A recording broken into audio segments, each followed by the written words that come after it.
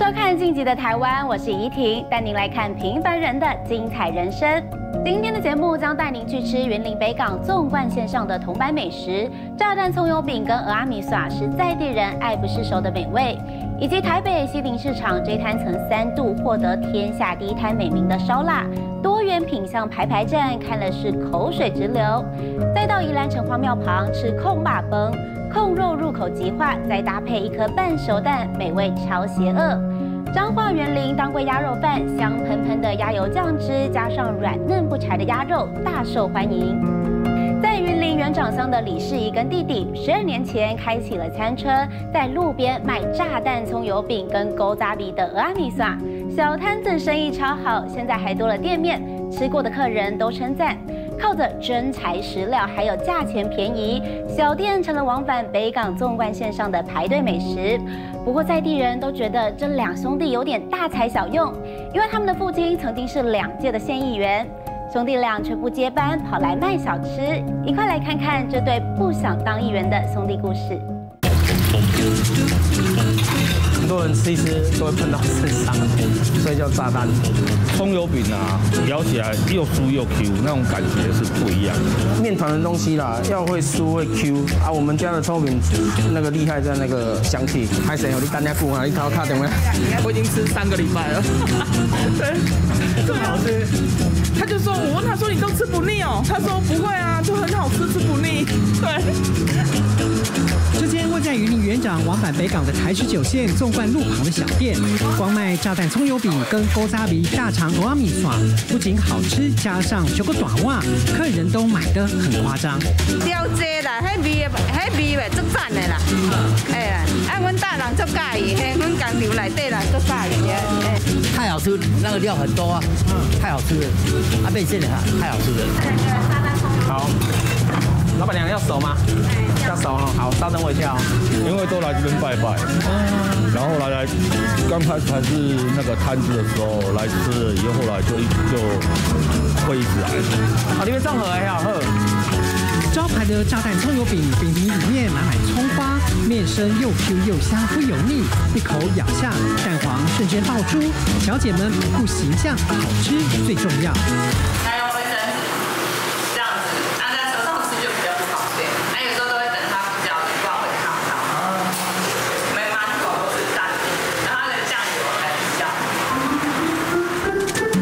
内用生意强强酷，就像纵贯线上车辆川流不息。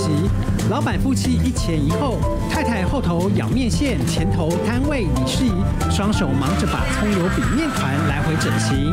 厚实又大张的饼皮放入油中，像是吱吱吹气的河豚，碰碰的身材超疗愈。接着放入一颗在地的新鲜鸡蛋，这蛋要够新鲜才会。要不然它会起水起水泡，它就会含油量比较高。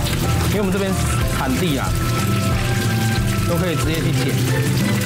炸到酥香的葱油饼放在架上沥油，轻轻一夹，香气四溢。刷上特制酱料，好滋味是一口接一口。你其实讲到就罢了啊，可是你会再想吃，有时候过量，所以肚子就吃到那么大。而这葱油饼的味道其实是跟花莲外公学的，外公可是小有名气。那花莲站后面是在斜对面，我们是另外一侧。之后一个葱油饼好像才几块，五块吧。还用报纸包？对，还用报纸。过来阿姨也好没？高伟嘿。很多人吃葱油饼都会搭着这碗用虾米去提味的勾扎比鹅阿米耍，里头加一东石的鹅啊，跟卤过的大肠头，老板给的很阿萨里，小碗的价钱分量直接 KO 都市的大碗。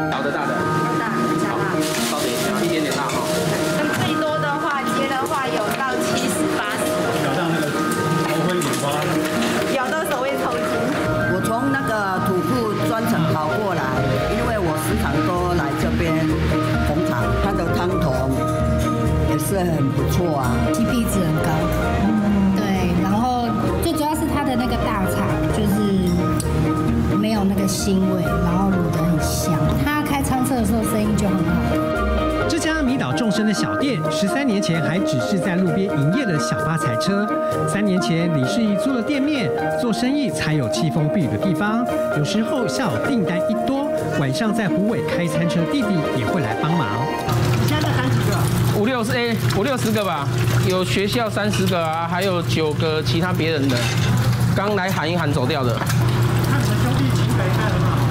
很好啊，一般就巅峰期四点多的时候，他准他准备的东西的时候过来帮忙一下。自己在那边卖大概六个小时啊。啊。哎呀，他有时候都这边忙就来这边帮忙一下这样子。兄弟俩默契十足，采访这天生意出奇好，不到下午四点就卖光光。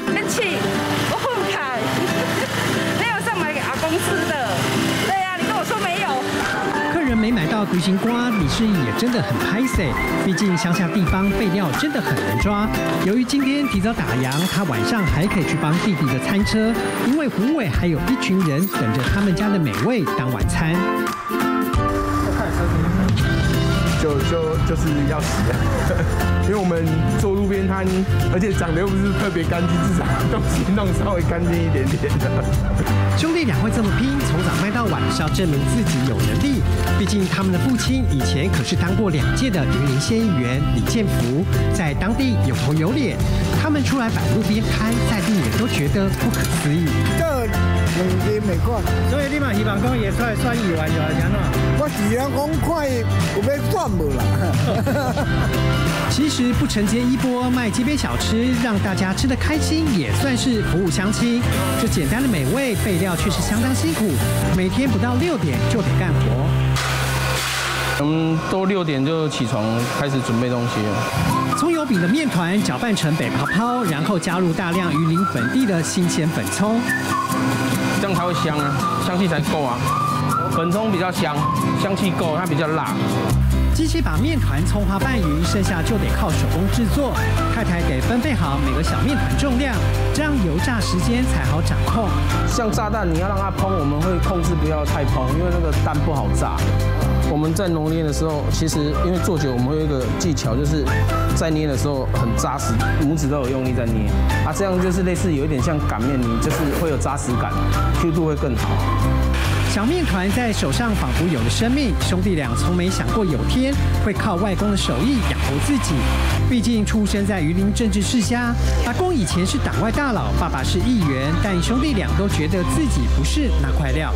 欸我看过啊，他出车祸啊，就两个都是自己的选民啊，又都好朋友，得罪一边都不是人啊，自己真的没有那个能力啦，因为 你要怎么选，叫我选，我选不出来。不想跟政治沾上边，李世仪最早在台北创业，但两千零八年碰上金融海啸，公司倒闭，卖掉房子，还负债五百万，带着老婆小孩回到云林。就跟他说，哎，你不是都很爱吃面线，看到面线你就一定要停下来去吃。然后外公刚好也，他他也常常说，外公他们之前都有在做葱油饼，我说那我们要不要来来做做看嘛？要不然也不知道干什么。当议员的父亲没反对他们摆路边摊，但他们自己去摆了，才知道生意难做，跟政治一样现实。一开始觉得想的都很简单啊，当初来做的时候，真的蛮丢脸的，站在那边没有人，真的超丢脸的。我一开始也是戴头套啊，戴帽子啊，啊后来就是有人也是去讲啊，后来应该那杯米霜啊，结果就会来打招呼啊，打招呼也是不买啊，那就觉得更丢脸啊。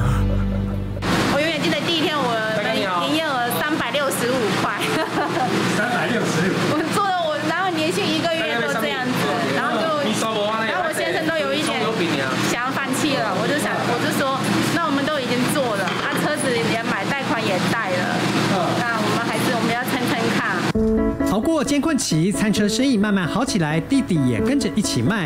他后来跑到台北板桥去开店创业，因为他觉得外公教的俄阿米耍的锅渣米，台北吃不到。米耍的话，我们就是小时候讲最基本的，家里一般都有的配的东西啦，就是虾米啊、菜诶、扁鱼啊、小鱼干啊，我们都是用这些东西下去做的，所以吃了就是会口齿留香。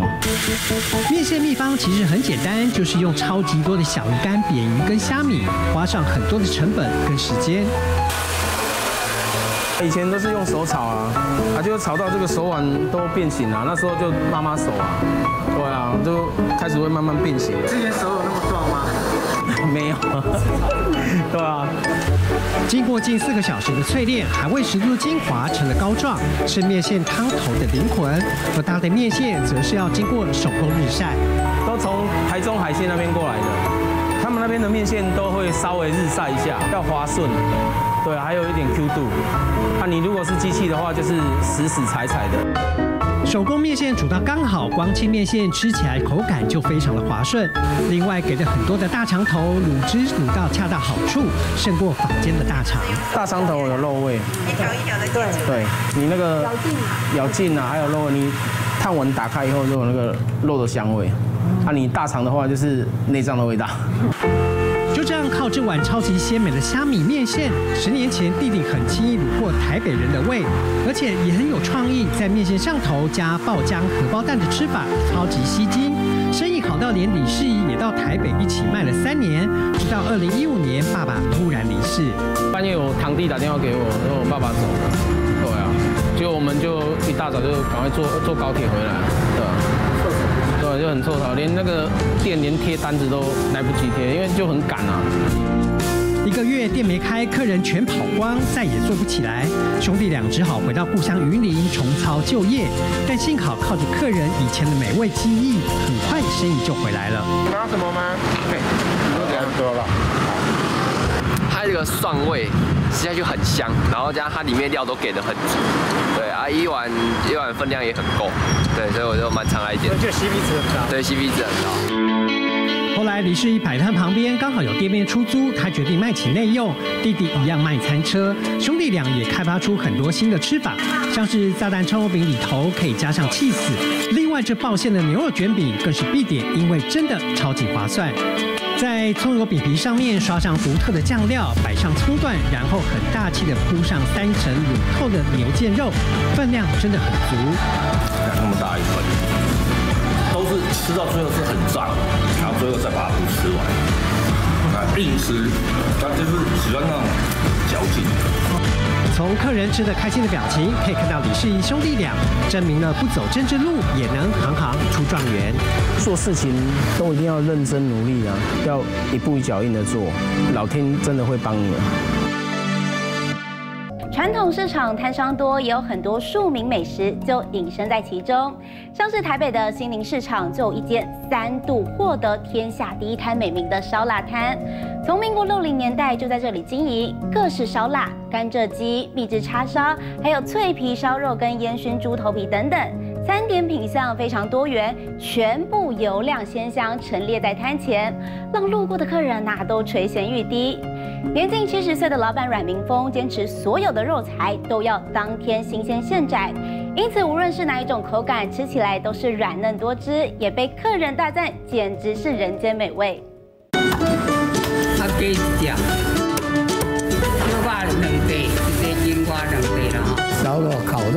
烤鸡也好吃啦，脆脆，那个味道特别香。我孙子，我每次要来的时候啊，他说叫我一定要带回去。烧鸡啦、叉烧都很好吃，所以我们都常常大概哎一个礼拜就会想来吃一次吧。小小摊前挤满人潮，这一平大的小摊位是台北市西宁市场的老字号烧腊店，开业五十年了，深受老顾客喜爱。他们都是自己做的，这一摊我们吃好久好久了。多久？应该二十年有了。每一次过年过节都这次都要排队哦，像年底的时候啊，人潮很多。假日节庆，老顾客就算等再久也甘愿排队，因为东西非常新鲜，也让这间小摊子曾三度获得天下第一摊的美名。一百零九年，还有一百一十一年的，这么厉害。就是说有被肯定的，比赛的是那个天下第一单的金长奖，这么厉害哦！对，天下第一单美名，对他很有名啊，在网络上常常看到啊。老板跟老板娘做人也超好的，很阿莎里。多了吧？还有一斤啊！中的阿萨里，就是老板娘周锦亮做生意的哲学，做事干脆又不计较，就连近七十岁的老板阮明峰也是如此。只要客人上门，随手就拿起一块肉，请他们试吃品尝。啊这块请你们，这几个请你们。哎，拿拿拿，现现现吃现吃，拿起来看看我们这我们我们家做的怎么样？能有这样的举动，也是因为他对自家产品超有自信。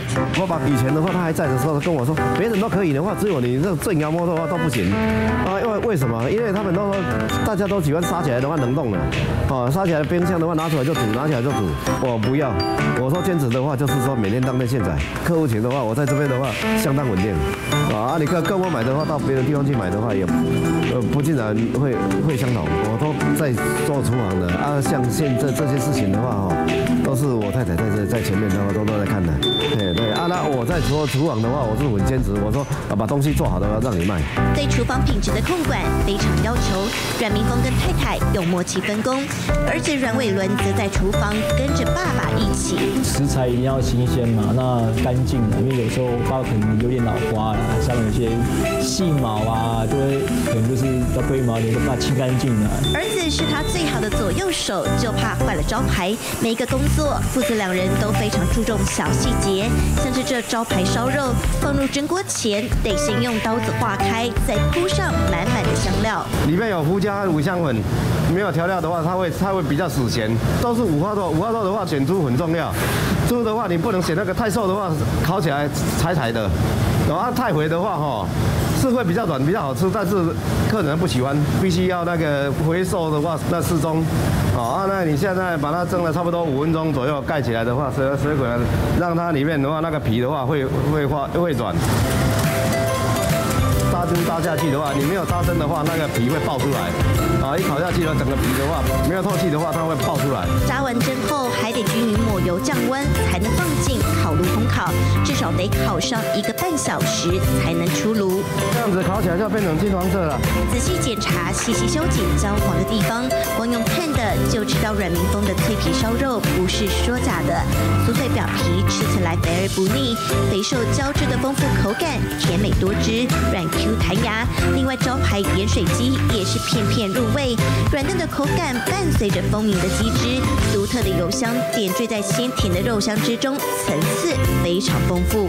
每天就进货嘛，那个肉都胶质很好，鸡肉很好吃，我可以跟你啊两个人一半吃光光。最推荐哦，盐水鸡哦，每次我朋友要来，还是我家小孩都最喜欢盐水鸡。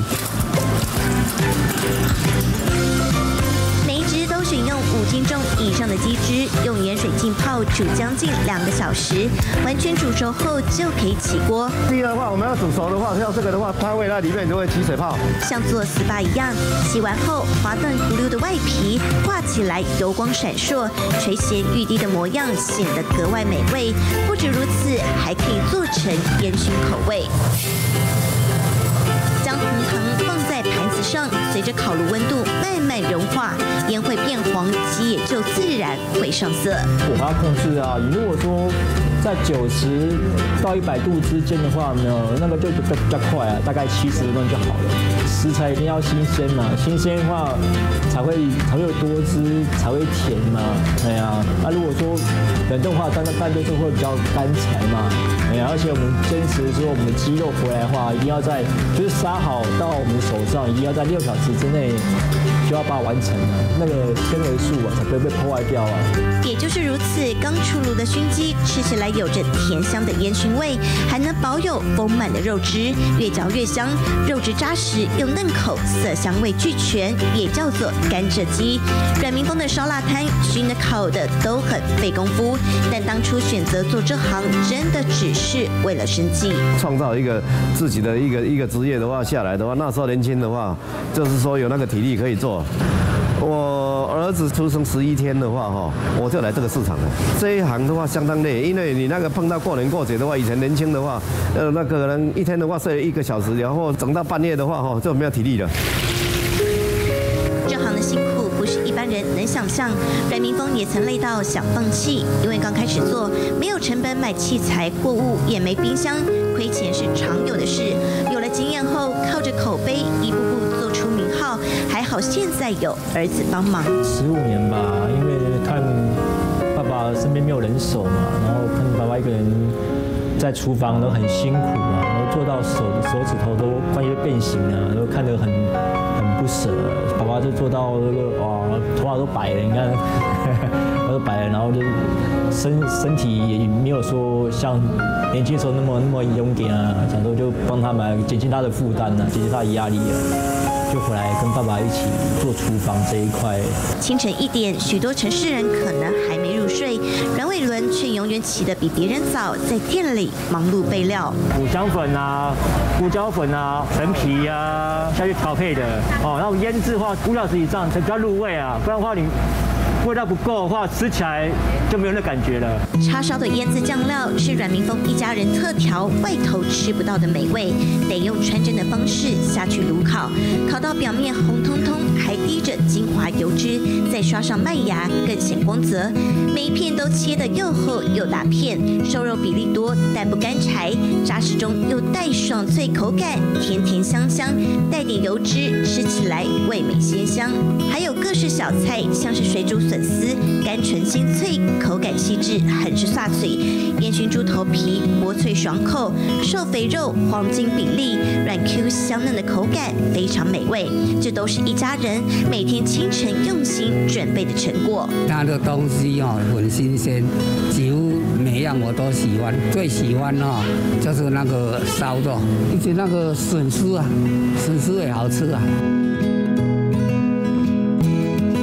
最爱吃的是他们的猪耳朵，因为我也常来买它猪头皮啊，猪肉，它这边东西都很多，都很棒，都很好吃。老味道不走味，阮明峰过惯了传统市场的人生，要他出去开店做宅配还真不行，因为纵使再累，也早习惯了这一步一脚印的心情生活。就是哈，人要勤劳了。哦，啊，传统市场的话是会会属于比较累一点的，但是以这一种精神的话，哈，累的这种精神的话，来来换取的话，哈，自己的的自己的收入，啊，改善自己的生活，哦啊，不要怨天怨地，哦，只要脚踏实地的话，这样那个一定会成功的。那感谢就是就是我爸爸，爸是蛮严格的，之前就刚开始就不会嘛，然后烤鸡烤到那个哇那个火。太大了，要烤到哇焦掉，我爸就会就生气，把那个锅盖啊用力一丢啊，哇很大声，我吓一跳，你知道吗？哎呀，就看到说哇怎么那个我也看到啊，呃怎么这这整个超微搭了，就根本不能看呐，等于等于就是烤坏了。那我也是只能就是拼命改啊，拼命改啊，改改改改，才有我说现在的那个一点点成绩这样子。爸爸是出了名的严格，这五十年的家业基底，既然要传承，当然也得打好。基础。阮宁峰的鸡鹅鱼猪讲求的就是新鲜，只用当天现叫现宰的货源，新鲜盐水鹅肉，软嫩香甜，鲜美多汁，吃起来不油不腻。我们都是薄利多销，对。最坚持的地方的话，就是说东西要材质一定要新鲜，好不新鲜的话，宁愿宁愿把它丢掉。哎，要做的话就是把东西做好。客人的话，你东西做不好的话，他一次的话，一次的话，也许他会再来，第二次再买不好的话，就再见了，就拜拜了。以前的话，我妹妹我还我几个妹妹姐姐姐的话，都是帮我很大的忙。老婆也是很辛苦的，儿子的话，哦，我就慢慢要退休的话，哦，就让他让他去接了。我们有坚持我们的我们的的商品，坚持我们的熟食啊，哎呀，所以才受到别人的肯定。一个小小烧腊摊，走过五十个年头，天下第一摊的美名可不是浪得虚名，背后更有着一家人齐心努力的传奇。城隍庙附近有一间六十年的传统早餐店，店里招牌不是烧饼油条哦，而是从清晨就开始炖卤，卤到几乎化开的空霸崩，再搭配浓稠的半熟蛋，味道啊简直销魂。食量大的客人还会点一颗控肉饭团，分量足足是一般外面的两倍大，只要一开店就会吸引人潮上门，很多人是从小吃到大，就算离开家乡也念念不忘这好味道。只是小店历经了老板突然离世，老板娘原本打算不做了，是什么原因让这股味道持续飘香的呢？带你们来看看这间老店的故事。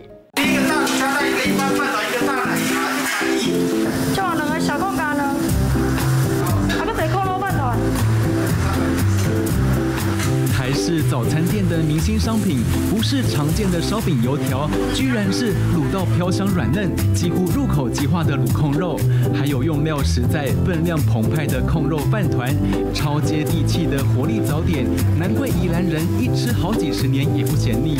他们家的特色，我觉得现在最厉害就是那个控霸本。它那个控霸本，我刚刚吃，它就是一整块，就是连油连肉都非常的完整的控霸本。那我觉得控霸本最重要的就是要把那个油跟肉都要卤到就是非常的软烂，但是又不会整个分开这样子，它是整块肉那样的。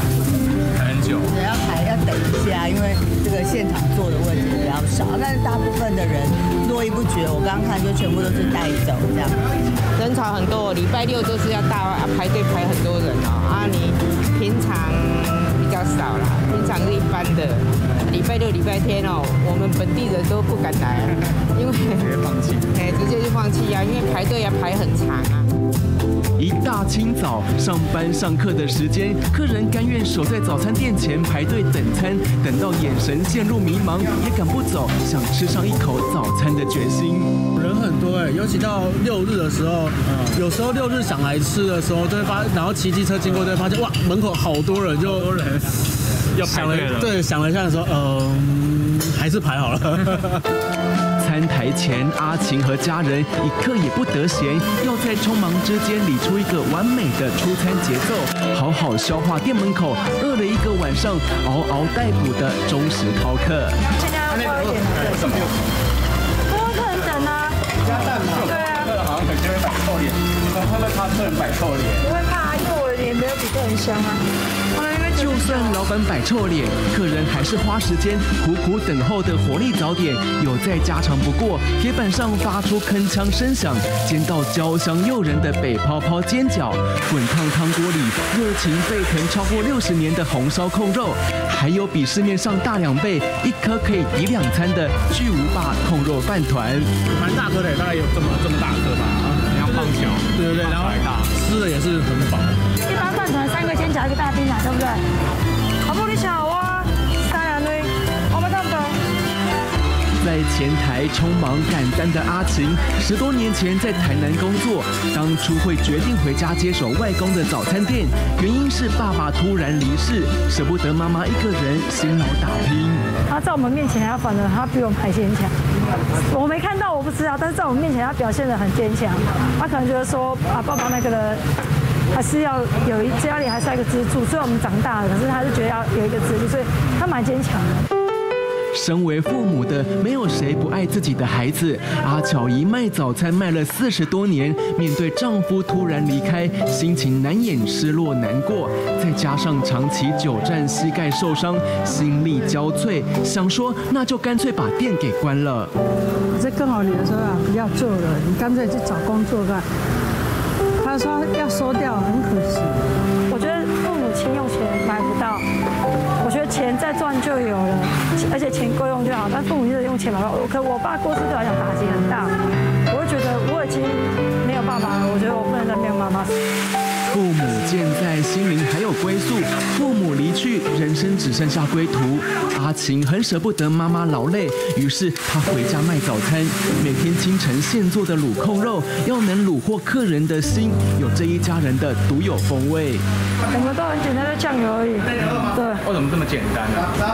越简单的食物越简单，越吃它原味那东西，越能知道那东西好不好吃啊。三层肉啊，三层肉，这部分的肉它会比较鲜甜啊，而且它肥瘦、肥的、瘦的、半肥瘦什么都有，比较平均。来大控咖呢，再来小卤咖呢。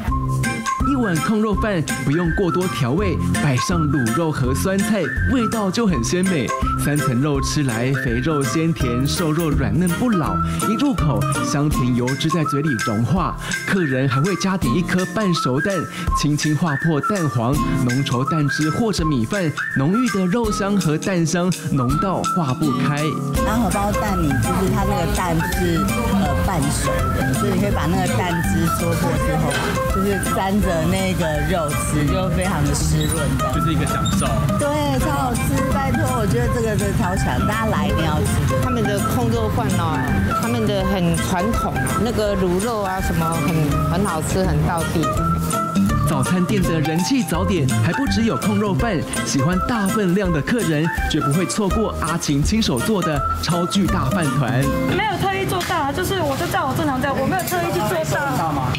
我手没有大，我手就这样而已啊。客人要吃得饱比较重要。比棒球还大的爆量系控肉饭团，拿十块钱比一比，面积还比硬币大十倍，分量多到好像是老板怕你吃不饱。摊开饭团，内馅有菜脯、肉松、控肉和香脆的油条，一口吃来，米饭香 Q、软嫩扎实，很有层次。许多客人还要分两餐才吃得下。口感不错啊，它里面有也是有加蛋啊，加肉松啊。一般的啊，有个有些客人也喜欢吃他的饭团，里面有加控肉在饭团里面啊。熟客还会点一碗铜板价只要二十五元的苦瓜排骨汤，软嫩的排骨肉味道鲜美，充满肉香。苦瓜吃来软绵吸饱汤汁精华，淡淡的鲜甜滋味是不少早鸟客人一大清早用来暖胃的心灵排骨汤。汤头跟清真的不一样吧？一般外面清真有些比较清淡，那它的味道比较重一点。你好，内外带。来做外面要什么？阿晴回家卖早点也卖了十多年，每天陪着家人一起守住家的味道，也逐渐卖出了好口碑。回想当初妈妈说要关店，还是掩藏不住难舍的情绪。我舍不得，我舍不得，我真的舍不得。就像现在，我觉得我多少能力做多少事一样。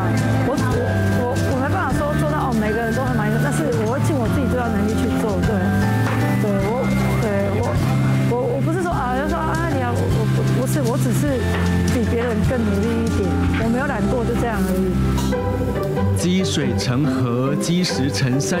或许成功就是当自己撑不下去的时候，再努力坚持一点，才有机会迎来众人的赞美。每天现擀现煎，一开锅热情洋溢的煎饺，就是许多客人一早的活力来源。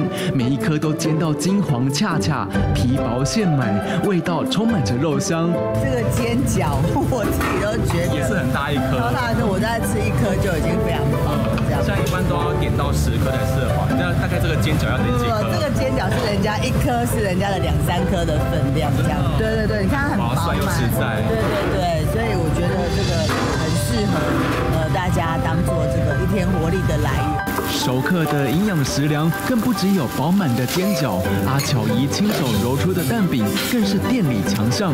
饼皮用烫面擀成，每一片都比一般的多一倍。简单夹个葱花蛋，喷发出的迷人蛋香，就是客人的晨间美味。它的蛋饼也好吃，整个很松软，哎，不会像外面的蛋饼啊，一些硬硬的啦。皮比较比较 Q 一点，因为它是自己做的。对对对，它不像外面那种就很薄很薄，它是有一点，对对，它它它是有一点那种嚼感。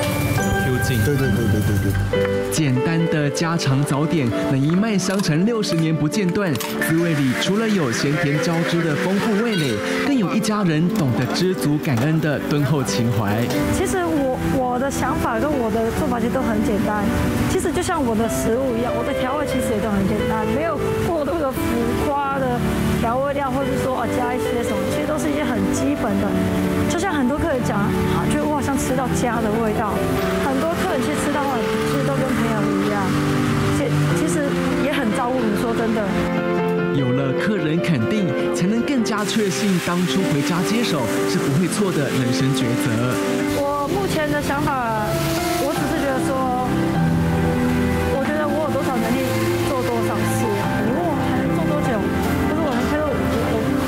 道。但是我只知道说，我会尽我自己最大的努力，最大的努力去守住这间店。小小的早餐店有一家人认真打拼的身影，朴实的早餐里有阿晴对家传美味的坚持，还有想给客人品尝到的家的味道。如果有人中年失业又负债了两千万，能够有翻身的一天吗？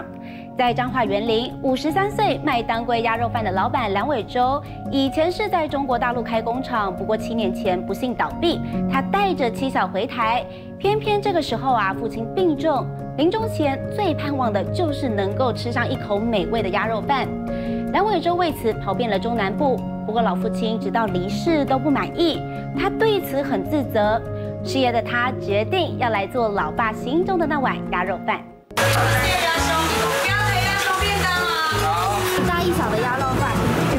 再一个米血扒。彰化园林之间当归鸭肉饭，才早上十点，大伙已经忙到七手八脚。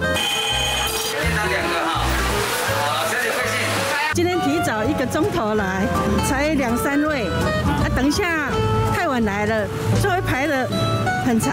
两碗都有，肉我觉得蛮好吃的，我会直接跟他们买三百块的鸭肉，会回去配饭这样。盛饭的、夹菜的员工各司其职，今天轮到老板蓝伟洲负责当归鸭肉这块，重点就是肉要给的很大气。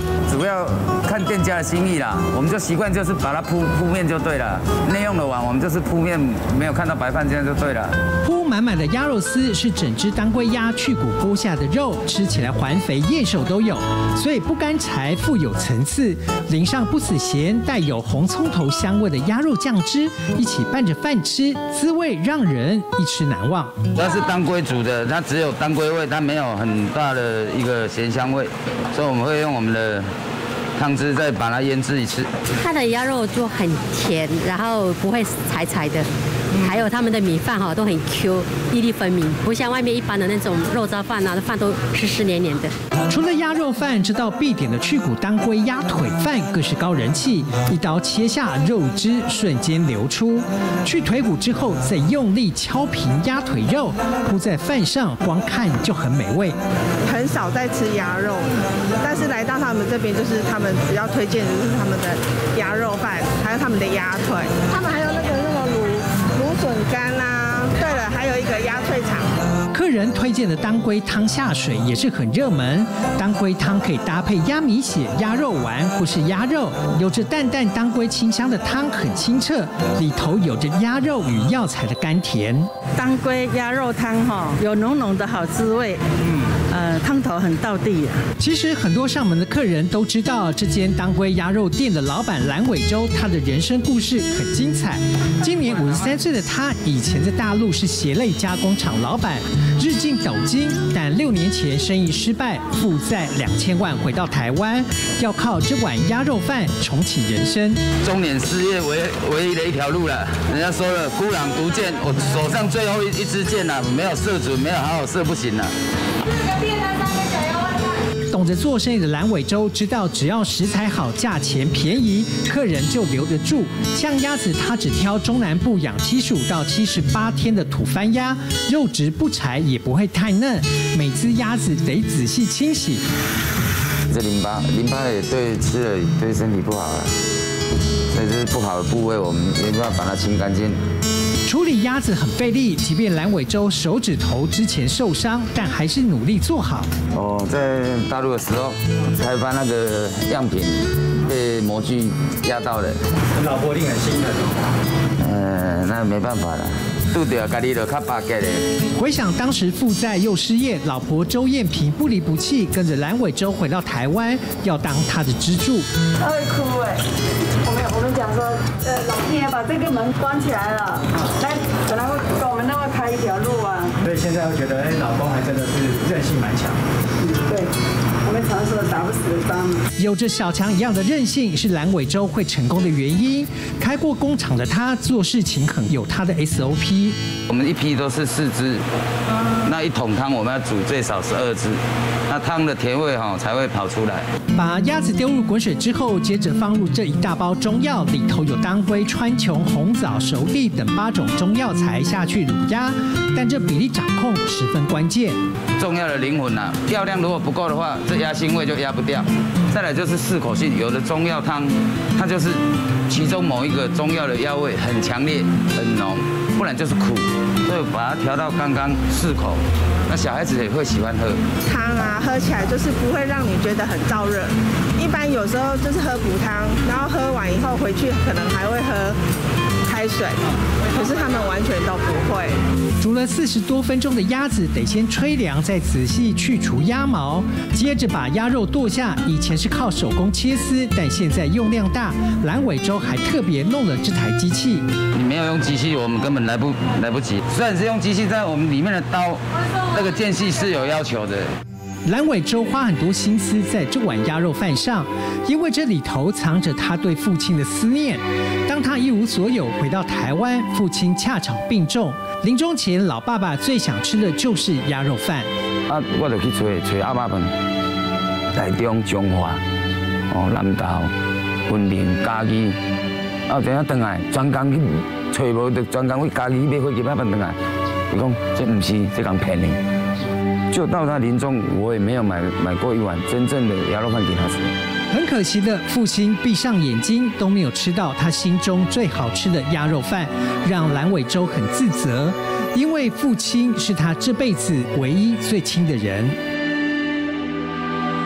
就多谢妈妈就无位啊，无为了爸爸为了要饲我，要饲家庭，伊就讲我一个囝尔，伊就去卖花摘啊，要去冰冻啊，哦啊，阮阮阿公甲寄回啊，哦一个月，啊一开，我要走就是大腿的毛咧，我他是我生命唯一的依赖。哎呀，虽然我阿阿公、阿姑。啊，给你打听，打打理外日日常的生活，但是跟爸爸最后一关的感觉还是不一样。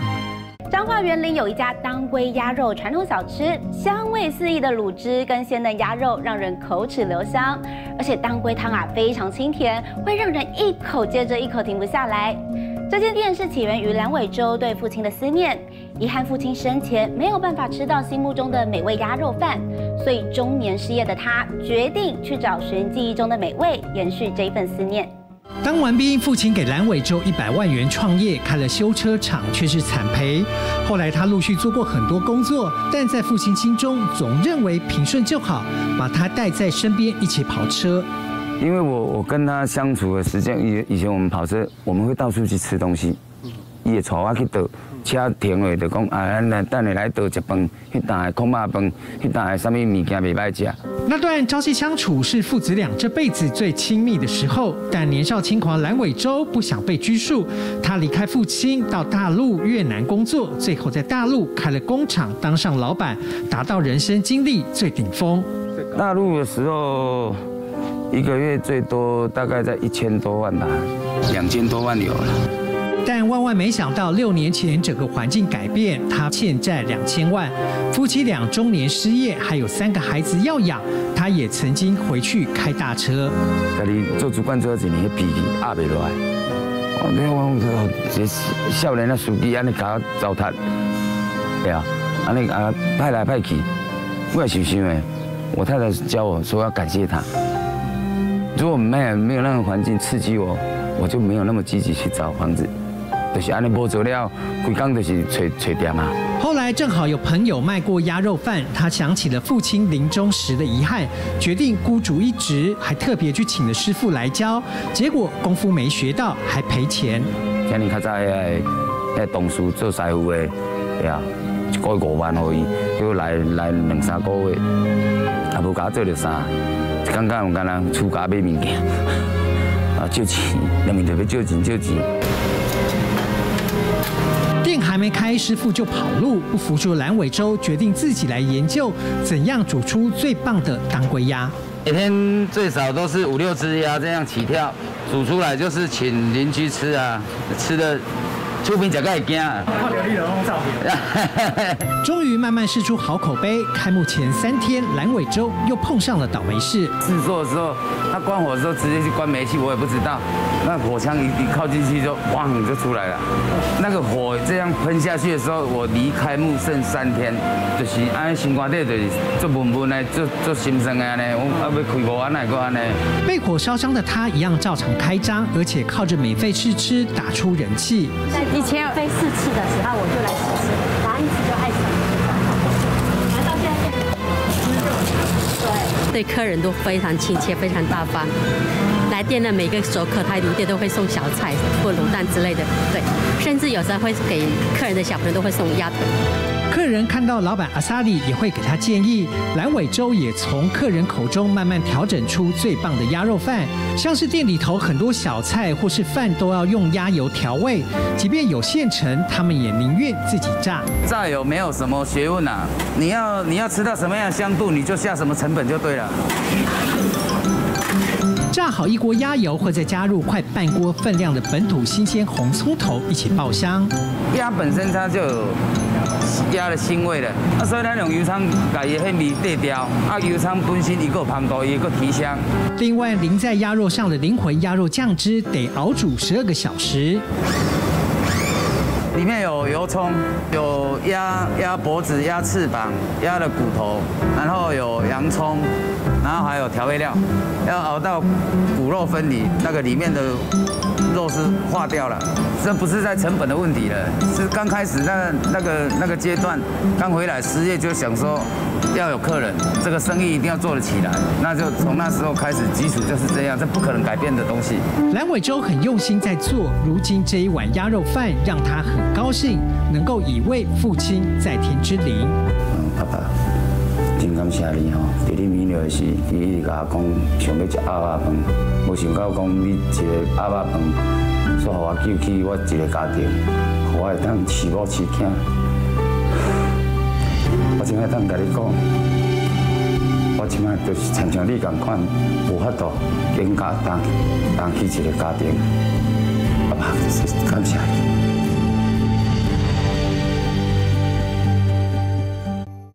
节目当中，我们看到了从炸弹葱油饼老板李世仪身上看到行行出状元，认真努力总会有出头的一天。以及阮明峰跟太太儿子一家人齐心要守护这走过五十年的人间美味，这一些都是平凡人最不平凡的精彩人生。感谢您今天的收看，也欢迎全球观众一起上晋级的台湾 YouTube 按下订阅跟分享。我是怡婷，我们下次再会。